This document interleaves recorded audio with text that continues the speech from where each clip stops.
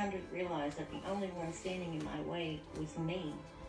Thank you, Christian, for the motivation I so desperately needed. It has changed my life forever.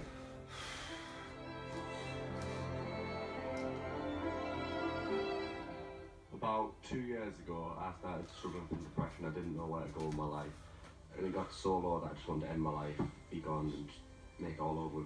And in a big way, Christian actually put me through the darkness in my own head, and I'm thankful for, say that he's one of the reasons I'm still here. Some of us battle anxiety or depression, have lost a loved one, or are enduring a heartbreak.